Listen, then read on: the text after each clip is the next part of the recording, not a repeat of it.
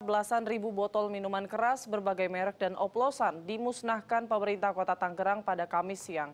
Untuk memberikan efek jerah, para penjual yang masih mengedarkan miras akan dikenakan sanksi denda 50 juta rupiah.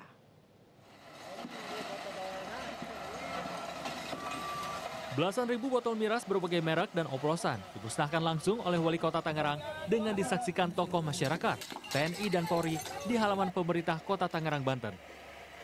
Pemerintah Kota Tangerang dengan Dinas Satpol PP tak henti-hentinya melarang penjualan miras seiring banyak korban tewas akibat meminum minuman keras. Tak hanya itu, miras juga merusak generasi bangsa, terutama para pelajar.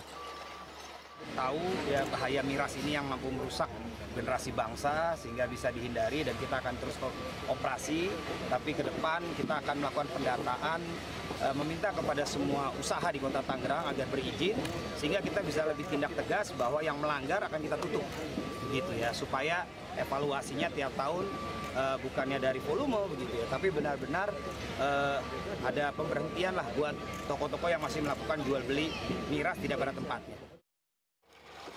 Bahaya miras yang merusak generasi bangsa dan terus beroperasi usaha miras yang ada di kota Tangerang jika yang melanggar akan ditutup. Selain itu, ke depan akan ada denda 50 juta rupiah bagi pengusaha jual beli miras. Dudi Wahyudi, Tangerang, Banten.